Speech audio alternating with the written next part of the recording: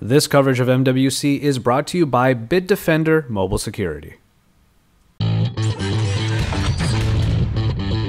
Hey guys, it's Darcy LaCouvee here. We're here at Imagination Technologies, and I'm here with Alex Voica. He's a technology PR executive with Imagination, and he knows a lot of stuff about GPUs, about mobility. So we're going to pick his brain for yeah, a little bit. Yeah, GPUs, CPUs, yeah, you name it. So why does Apple continue to choose you? You mentioned that they're going to continue licensing your technology. Yeah, so recently Apple announced that they're going to be continuing their relationship with us uh, on PowerVR video and graphics. Um, continuing to use future families of PowerVR graphics and video for their SoCs. Historically, PowerVR started out in the desktop space.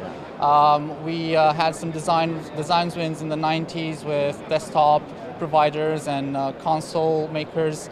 But then we made this decision to switch to mobile because we, we saw that the market was about to explode in smartphones and tablets. So we made this conscious decision to sort of leave that space behind and move to mobile uh, because we, our architecture was inherently much more efficient than uh, traditional IMR, immediate mode rendered based architectures. Um, so our architecture is something called TBDR, tile-based deferred rendering. Okay. It's probably the only architecture right now, GPU architecture, that has this ability yeah. to split the scenes into tiles and then defer rendering, which means only the visible pixels in a scene are actually rendered. Nice. And this reduces complexity, it offers much better performance, and it lowers power consumption as well. You know, the analysts from Gartner and others, they're saying that we're going to be looking at 12 to 15, 20 million units of these 3840 by 2160 displays, so 4K displays, um, you know, on sub 10 inch, 9 inch, 5 inch platforms. Um, mobile devices with 4K resolution. Yeah. You know, um, some of the more bright people like Jonathan Franklin, shout out to you, um, are saying that it's ridiculous and that you know we don't have any current SoC or no GPU manufacturer or licensor has the technology to be able to sustain um, a reasonable expectation of battery life while being able to push out smooth frame rates for that kind of resolution. And we're talking about 2015 for this kind of stuff. so yeah. can you talk to about that a little bit? Yeah, sure. Um, again, uh, PowerVR today ships in devices with 4K screens. So we have smart TVs that have a range of smart TVs that have uh, PowerVR GPUs powering the graphical UI, um, handling things like uh, web rendering, web browsing rendering, and, and so on. So we're already able to show that, look, PowerVR can comfortably drive 4K displays. But those are those devices are usually smart TVs. Um, not, not mobile. not mobile. yeah.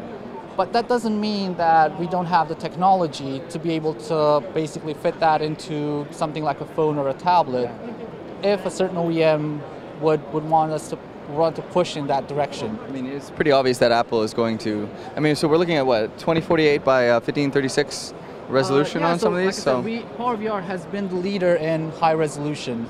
Uh, we were the first GPU to be able to support uh, at first, when we, we had um, HD resolution, and then we went to full HD, uh, and now we're kind of like sort of moving towards 4K in, in, in, certain cases. And we've always been the GPU of choice for people who want to have that high resolution. Yeah. we have a, a, certain range of solutions that, like I said, are, are aiming at the high end.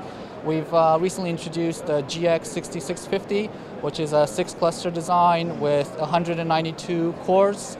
Um, that's being able to support the latest APIs, so OpenGL-ES, OpenGL, OpenCL, RenderScript, the full set of, of mobile and embedded APIs. Yeah. We believe that's obviously going to be a, a, real like performance killer for everyone else. Yeah. Uh, we believe that it's probably the best GPU design out there at the moment. You know, just one last thing, you know, with reference to um, sort of apps versus the web, you know, um, even uh, on an actual desktop legacy um, laptop or a desktop, a lot of uh, developers, or at least uh, not just developers, but consumers are wondering, you know, seeing demos of you know really high intensity first person shooters run in the web browser.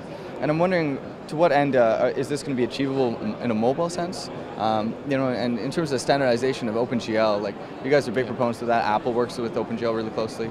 Um, if you could just speak to that just a little bit, I'd appreciate yeah, it. Yeah, sure. I mean, um, we've had developers who've been um, developing some content applications, particularly games yeah. for uh, the Rogue architecture, so the latest PowerVR cores, and their feedback so far has been that it's amazing they were able to essentially the, that the game that you're seeing behind you actually is an Xbox 360 game mm-hmm. with the assets of a console game, just ported directly to a mobile device, and it just runs. And they were really impressed Yeah. by the fact that they were able to reuse all that content they had from the desktop space, just change the API from a desktop to a mobile API, which is minimal effort, and then it just works.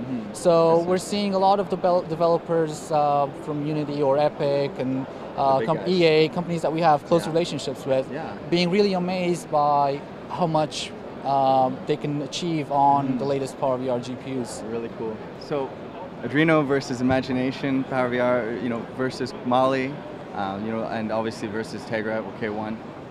Really, in terms of how much power they're consuming, for how much detail and complexity they're able to put out, what is the industry's best solution? What is the most leading technology right now? Obviously, it's PowerVR. Yeah. um, but I'm just going to quickly back that up with some Okay, facts. sure. So, um, for example, GFX Bench Yeah. from Kishonti Yeah, recently introduced this um, uh, this term um, called long evolution, a long-term evolution, which is they essentially run the benchmark 30 times in a row, Yeah. and then they measure the difference between the initial run and the final run. Because the heat.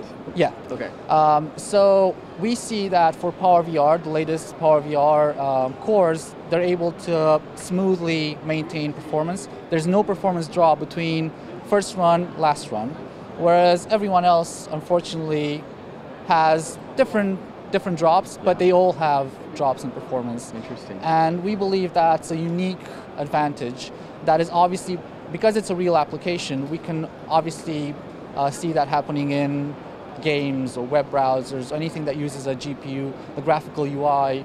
Um, and that's just one fact, Yeah. uh, how you can easily back that up and say, look, this is the best technology, PowerVR is the best GPU because you run this application 30 times and every time you get the exact same result. Yeah. Well, I hope you uh, you know continue doing the good work you do. You know, Thank and I uh, really want to say big thank you for your time, being able to pick your brain.